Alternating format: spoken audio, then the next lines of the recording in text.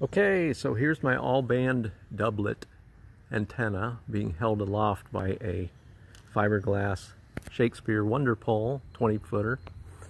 Um, it's being fed with a, uh, a length of TV twin lead down to my radio where it goes directly into it. There's an internal antenna tuner in this radio. Um, so each leg goes down. I've just got the, that leg tied to the truck.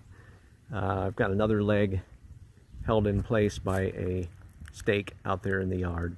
This is just set up for just for demonstration, not not uh, ideal portable operating conditions, obviously.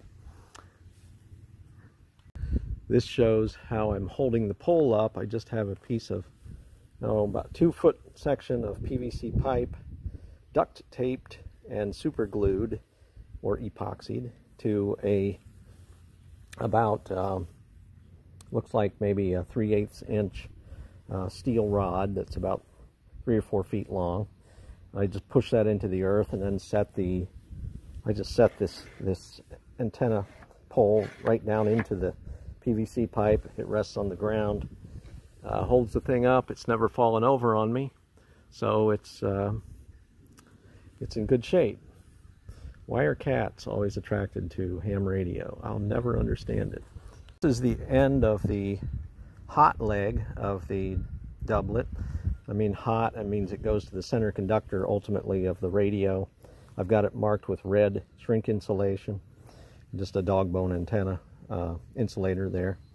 The other end of the antenna the other leg of the antenna is uh, marked with green shrink insulation from Harbor Freight.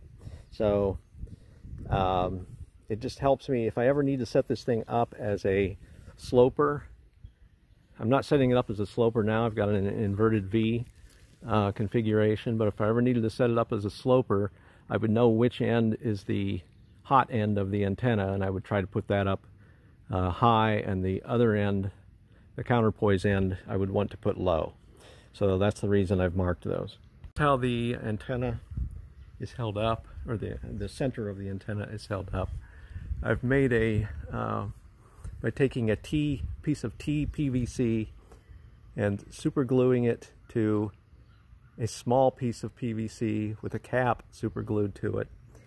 Um, and then the TV twin lead just goes right through the center of this T-junction PVC, and this just sits, this antenna, uh, the center of it just sets, sets in the little holder here. So that is all held in place very easily by the fact that, sorry about that, I have a hole in the top of the cap where uh, the hole will allow the top section of the antenna, top three feet of the antenna to go through it, but sections beyond that are too big in diameter to go through the hole that I've cut in the top of this cap.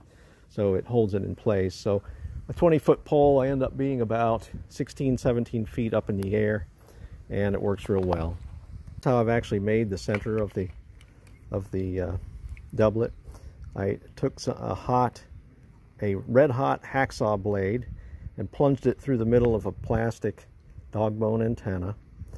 Um, and I then uh, used a drill, small drill bit to router out the rest of, of that, put the TV twin lead through it, and then attached it to the wires that are coming in from each side, and covered that entire thing with shrink insulation on each side, just to hold everything in place so it doesn't slip.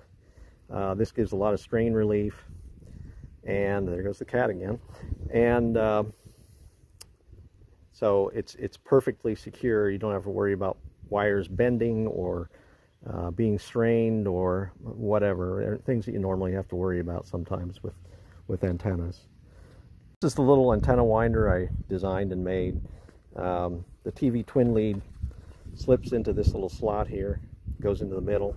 So the center conductor of the antenna goes in there.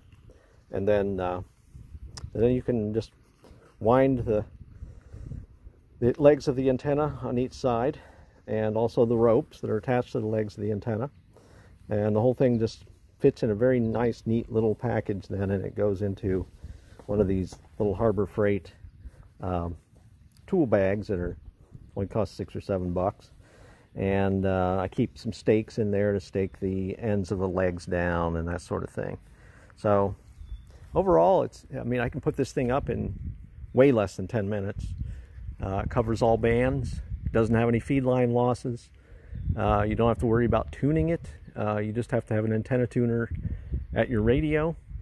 Um, so a lot of the, using a doublet obviously takes care of a lot of problems that you normally have to deal with if you're dealing with loaded uh, antennas or tuned dipoles or that sort of thing. And uh, it's much, you don't have to worry about the right counterpoise. You've got the right counterpoise automatically with the second leg of the uh, antenna.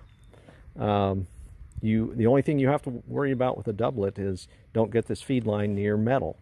So uh, as long as you do that, uh, you can be on the ground, it can be in the air, it can be going through trees. Don't get it near metal. That's the only, that's really the only rule for a doublet. So um, works pretty well. Get good reports on it. And uh, uh, did my first POTA activation this last week. I got 41 uh, QSOs in two hours, so I was pretty pretty satisfied. Uh, those were all the way from British Columbia to Florida to Massachusetts, uh, Arizona, Nevada, uh, from Ohio, and I was operating in Ohio. So worked pretty well. Okay, enjoy. Thank you.